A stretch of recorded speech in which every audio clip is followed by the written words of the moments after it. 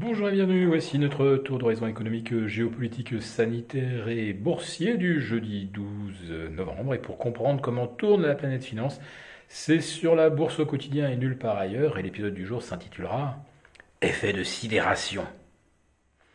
Oui, on est toujours euh, sous l'effet de sidération de l'annonce de Pfizer, de Pfizer euh, lundi euh, à l'heure du déjeuner.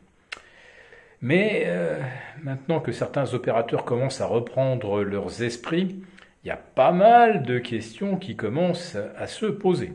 Mais c'est trop tard, les indices ont déjà fait leur, leur parcours.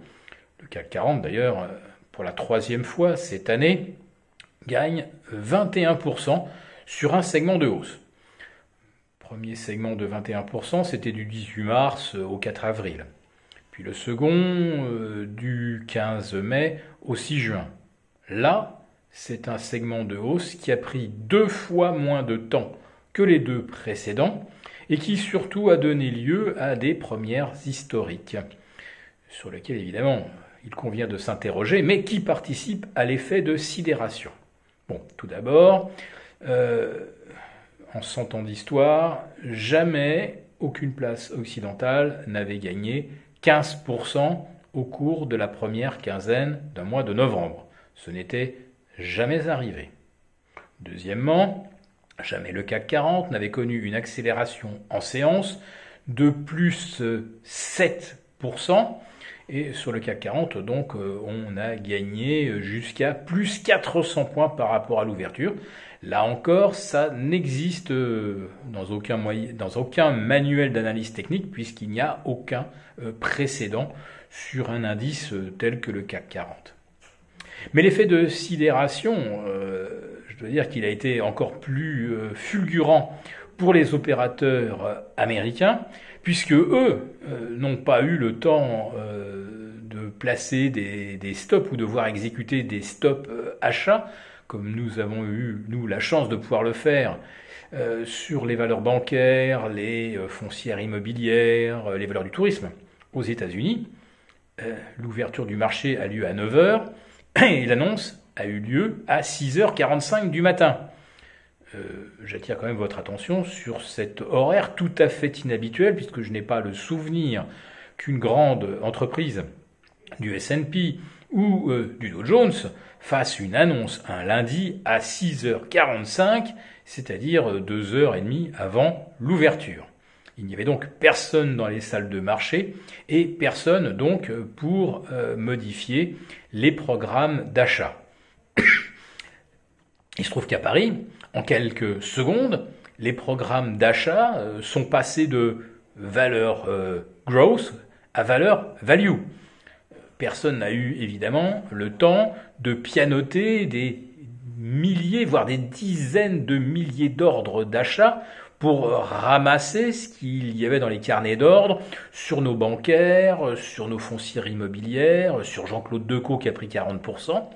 Ça veut donc dire qu'en fait, les algos étaient déjà programmés pour réagir à des mots clés. Donc j'imagine vaccin, efficacité, pas d'effets secondaires, etc., etc.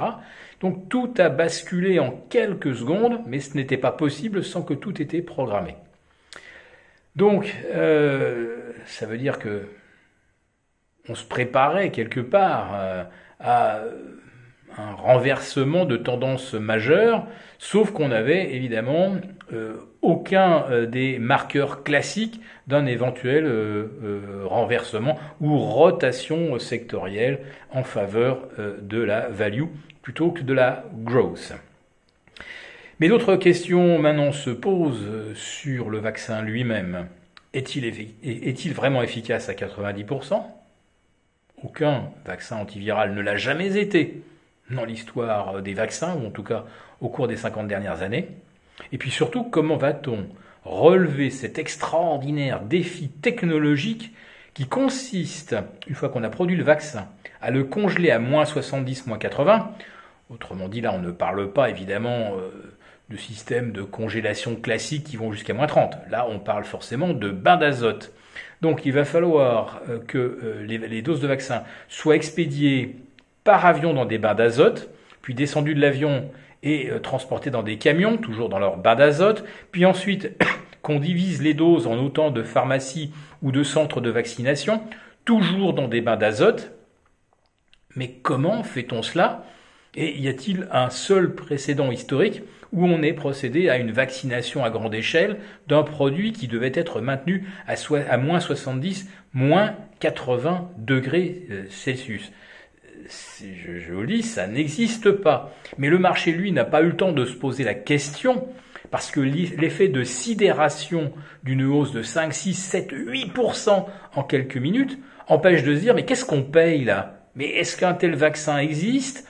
Un vaccin à 90% euh, d'efficacité existe. Est-ce qu'on peut le distribuer euh, à moins 70, moins 80 Et puis surtout, la question qui tue tout, c'est d'ici mars, avril prochain, qui serait vraiment la date la plus précoce pour euh, un test, une validation, est-ce que d'ici mars-avril, la souche de coronavirus n'aura pas muté, et il semble que ce soit déjà le cas, comme le fait la grippe? Autrement dit, même si on est capable aujourd'hui euh, de délivrer euh, le vaccin en bain d'azote euh, d'ici avril, parce qu'on aura 4-5 mois pour se préparer. si ça se trouve, les doses de vaccin que Pfizer aujourd'hui nous présente comme ayant 90% d'efficacité, si ça se trouve, en mars-avril prochain, ça ne sera peut-être plus que 50%, voire 30%, voire plus d'efficacité du tout.